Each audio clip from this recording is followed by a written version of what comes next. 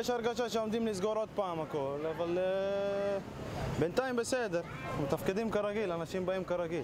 היה אצלנו פה ביפו סגר שבוע, עכשיו אנחנו אחרי זה. אנחנו מקווים שאחרי זה.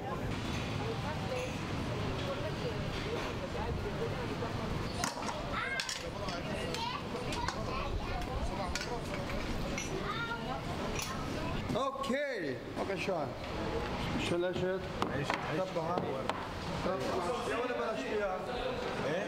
فيها شلا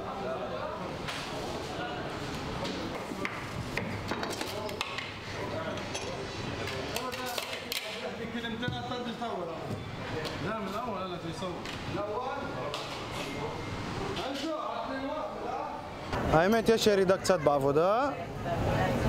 לא בדיוק ירידה, אפשר להגיד שאנשים מעדיפים לא לבוא ולשבת. הם באים ולוקחים אה, בלקחת בטק אווי ואוכלים בבתים.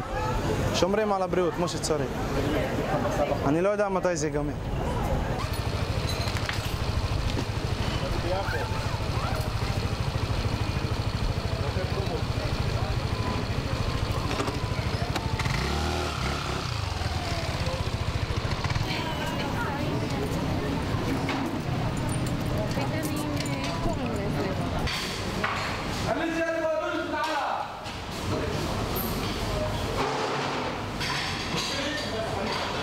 מבחינה כלכלית, בטח שאני חושש. יש לי בן בבית, יש לי ילד, ואני צריך ל...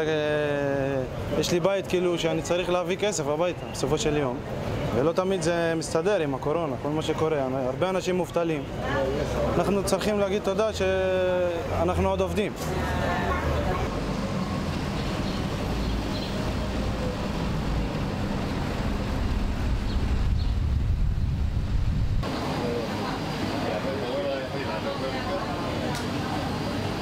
כל פעם זה נהיה יותר גרוע, יותר גרוע.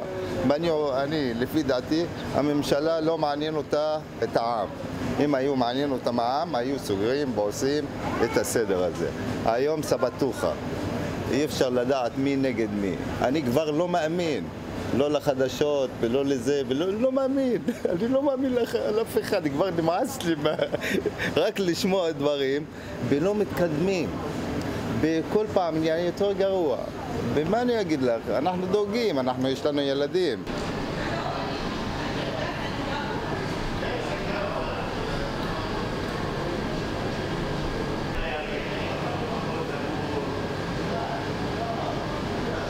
הקורונה, המצב שלה זה מצב חמור שאם סוגרים אותנו עוד פעם עכשיו. כי אין, אי אפשר להביא פרנסה ככה, ואי אפשר. שכל העסקים סגורים, יש ילדים, יש בתים, יש זכריות, יש הרבה דברים, לשלם מים, חשמל, ארנונה, זכריות של בית, וזה מאוד קשה, זה מאוד מאוד מאוד קשה. אבל מצד שני, אני חושב שיש משהו שאנשים צריכים להם לשמור על הדברים, על החוקים, בשביל שלא יסגרו את העסקים וזה ימשיך ולהישאר פתוח, אז האנשים בעצמם הם צריכים לתפוס, את, להבין את החוקים של המדינה וליישם אותם.